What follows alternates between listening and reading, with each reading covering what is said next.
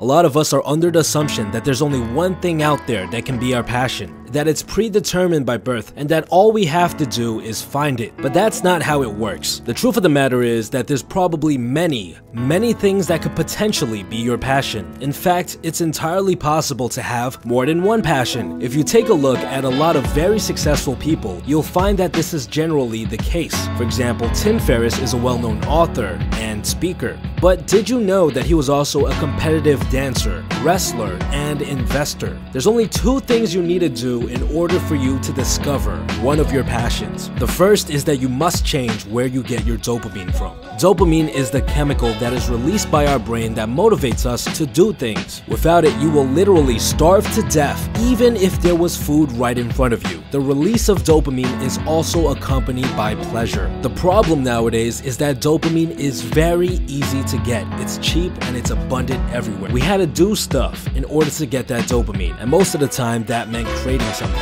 You had to build a house, you had to create a nice piece of pottery, you had to go out and tend to your crops. While you worked on these tasks, you were flooded with dopamine and you felt good about the whole process. If you follow this route, you naturally become passionate about whatever it is that you did. But nowadays, it's a little bit different. We can now flood our brain with dopamine without having to do much at all. You can surf the web, you can binge watch some TV shows, you can order amazing food to your front door almost instantaneously. And methods like this have become the main sources of dopamine for the majority of people. Now, what's different about these sources of dopamine as compared to the ones we used to get it from? Well, these are forms of consumption, and the ones we used to use are forms of creation. And this is a very important distinction. In order for something to be your passion, it must stem from creation. If you get the majority of your dopamine from a form of consumption, do you know what we call that? We call that an addiction. You're addicted to watching TV. You're addicted to smoking cigarettes. You're addicted to eating junk food. But on the other hand, if we get the majority of our dopamine from a form of creation,